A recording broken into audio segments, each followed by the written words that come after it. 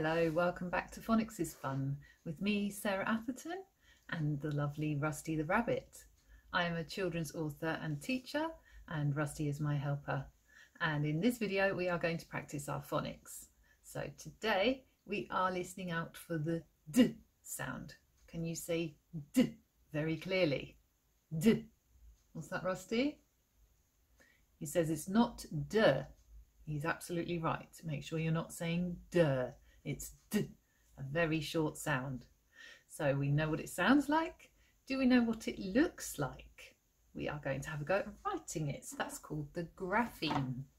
Now, where do we start writing D, do you think? Let's see if Rusty can remember.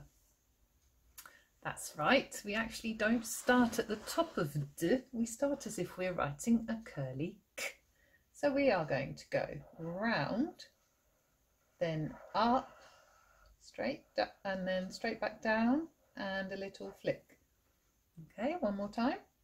So go round like a curly k, as if you're going to make an ah, but you're going to carry on straight and then back down and flick.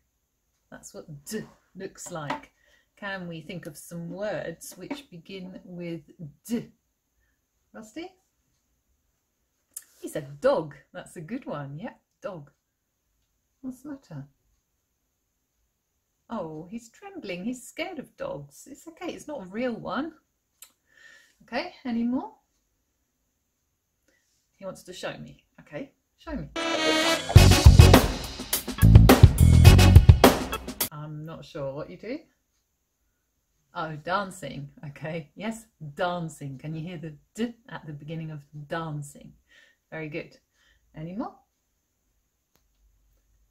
Dinner. He said dinner. Yep, that looks like a lovely plate of dinner. Mmm. What's the matter? Oh, he's hungry. Okay. Guess we better go because otherwise he gets really grumpy. We don't want him to get grumpy, do we? So, you at home, think of some more words that begin with D. Remember, say it very clearly. And also say the sound and write it down. Have fun, and Rusty and I will see you again soon. Goodbye.